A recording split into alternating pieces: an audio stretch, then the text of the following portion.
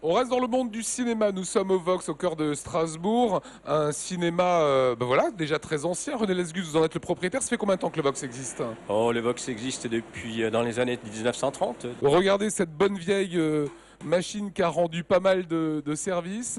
Et euh, la technologie aidant, eh bien, il y a à côté un nouveau projecteur numérique. Voilà, c'est vrai que le projecteur euh, que vous aviez désigné tout à l'heure euh, et qui est toujours dans cette cabine, c'est un projecteur 35 mm.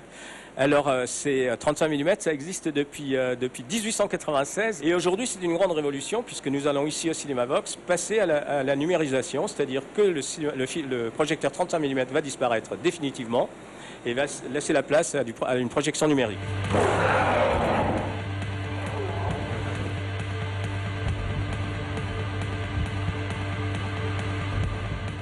Alors ici, on a pu voir euh, Avatar en 3D. euh, film, euh, excellent film de, de Cameron, avec les, les- les petites lunettes, voilà, qui sont juste à côté de moi, les petites lunettes qui, qui vont bien. Aujourd'hui, vous êtes en train d'installer une deuxième salle avec un projecteur numérique. Combien ça coûte d'abord un projecteur numérique? Alors pour installer un projecteur numérique, il faut compter aux alentours de 100 000 euros, donc euh, pour l'achat, la pose et la mise en service. Autrement dit, ce système de grosses bobines là qui tournent, c'est terminé. Alors avant, on avait donc des, euh, sacs de films avec 5 bobines, euh, donc ça faisait à peu près 35 kilos. Euh, donc les films étaient montés sur ce qu'on appelle un dérouleur. Euh, le dérouleur qui est, qui est derrière vous, juste euh, sur lequel vous êtes, euh, vous êtes gentiment accoudé. Donc euh, il y a quelques temps, je vous aurais dit vous accoudez pas là-dessus parce que c'est tellement fragile qu'il faut pas le faire. Mais aujourd'hui, je vous laisse faire parce que bon, comme on a le cinéma numérique, on en a plus trop besoin. Donc maintenant, un film, c'est quoi? C'est quelle épaisseur? Aujourd'hui, un film, c'est sur un disque dur euh, qui pèse 2,5 kg. Alors donc, c'est- ça vient par, par la poste, ça va venir par la poste, on va le monter et on va le charger à distance euh, et on va pouvoir projeter euh, dans les quelques heures après en, en numérique. C'est définitivement la fin d'une époque Ben moi, je pense que d'abord, on a été en 2008, nous avons fait des essais pour euh, le Festival du film fantastique avec un projecteur numérique.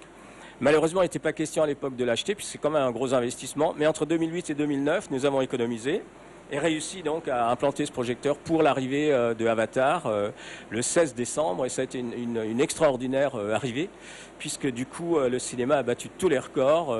Avatar a fait le complet quasiment tous les jours, midi, le soir. et ça, pour nous, ça a été une formidable expérience. Ce qui fait que tout de suite après, en apprenant, enfin, on le savait, on sait ça quand même un an en avance, mais en sachant que, Alice allait sortir là, après-demain, donc on a décidé de réinvestir dans un deuxième projecteur. Un dernier mot, expliquez-nous le système du, relief. Comment est-ce qu'on peut voir un film 3D Alors, le système du relief, il est axé sur le décalage de deux images. Vous avez deux images, par exemple, comme deux photos qui sont légèrement décalées. Euh, l'une par rapport à l'autre, comme si vous les superposez, mais avec un léger décalage. Ils arrivent sur l'écran, mais flous. Et le fait de, mettre, le fait de porter des lunettes, ça vous recadre l'image, mais ça vous donne ce décalage.